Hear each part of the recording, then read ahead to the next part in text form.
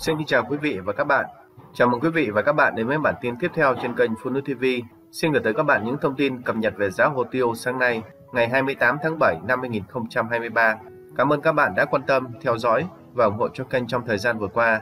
Chúc các bạn ngày mới vui vẻ và ngày làm việc hiệu quả.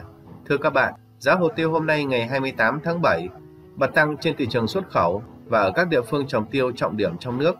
Cụ thể kết thúc phiên giao dịch ngày 27 tháng 7, cộng đồng hồ tiêu quốc tế điều chỉnh tăng đối với giá tiêu xuất khẩu tại Indonesia và giá tiêu trắng của Việt Nam. Trong phiên vừa qua, giá tiêu đen xuất khẩu của Indonesia phục hồi tăng 7 USD trên tấn với mức tăng là 0,19% lên giao dịch ở mức là 3.733 USD trên tấn. Trong khi đó, giá tiêu trắng xuất khẩu tại quốc gia này tăng được 12 USD trên tấn với mức tăng là 0,19% lên mức giao dịch là 6.463 USD trên tấn. Tại Brazil, giá tiêu đen xuất khẩu vẫn duy trì ổn định ở mức 2.900 USD trên tấn.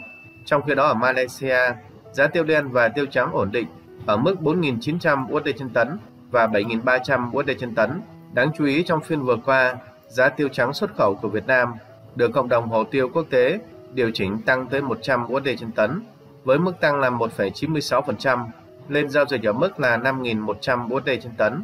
Trong khi đó giá tiêu đen xuất khẩu loại 500g trên lít và 550g trên lít vẫn ổn định ở mức 3.500 USD trên tấn và 3.600 USD trên tấn.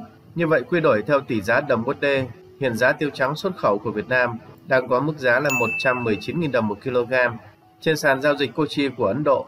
Trong phiên vừa qua, ghi nhận giá hồ tiêu ổn định với tiêu xô vẫn ổn định ở mức 580 rupee một kg.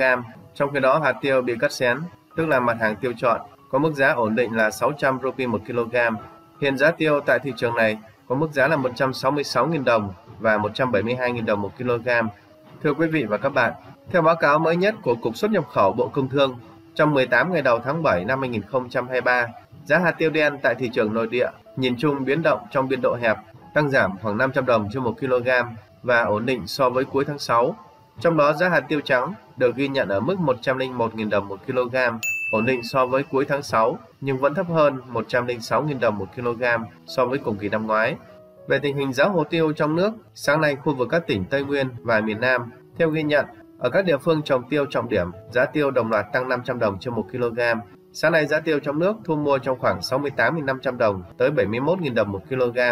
Ghi nhận tại hai địa phương là tỉnh Đắk Lắk và tỉnh Đắk Nông, giá hồ tiêu thu mua quanh mức 70.000 tới 70.500 đồng một kg.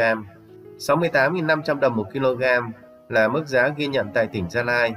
Trong khi đó tại tỉnh Phú Yên ghi nhận ở mức là 68.600 đồng một kg. Tại tỉnh Bà Rịa Vũng Tàu, giá hồ tiêu sáng nay ghi nhận ở mức 71.000 đồng một kg.